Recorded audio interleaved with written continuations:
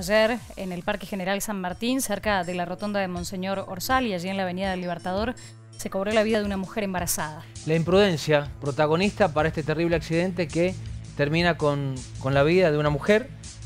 Otro accidente fatal sucedió en la provincia en las últimas horas, donde una mujer embarazada perdió la vida tras este violento accidente allí en medio del Parque General San Martín, uno de los espacios verdes que tiene la provincia de Mendoza. Bueno, circulaban en moto la mujer embarazada, un niño, hijo de la pareja, y su marido. Ellos dos están internados y la mujer lamentablemente murió en el accidente. Terrible por cómo se da, porque la mujer que iba a bordo del auto se cruza de carril. A partir de allí, la peor de las noticias, la mujer que perdía la vida, sucedió ayer, 5.20 de la tarde, 17.20 en Avenida Libertador. Y la gran pregunta que nos hacemos desde ayer y hasta hoy, ¿cuál es el estado de salud del resto de las personas que iban en esa moto ayer en el parque? Continúan internados el hijo y el esposo de la víctima fatal.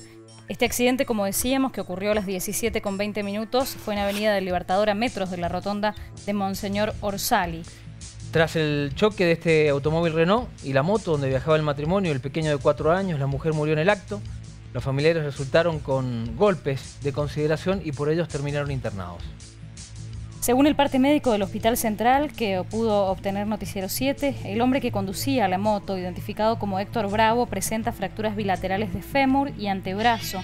Debió ser intervenido quirúrgicamente. Además, sufrió traumatismo abdominal, por lo que está siendo sometido a estudios para verificar si tiene lesiones internas se encuentra en terapia intensiva, pero presenta una evolución favorable hasta el momento. El niño de 5 años fue asistido en el Hospital Humberto Notti las autoridades han informado que continúa en terapia intensiva y su pronóstico es reservado. Los médicos van a realizar esta tarde nuevos estudios para determinar la evolución. La conductora del auto que protagonizó el accidente quedó a disposición de la Fiscalía en turno.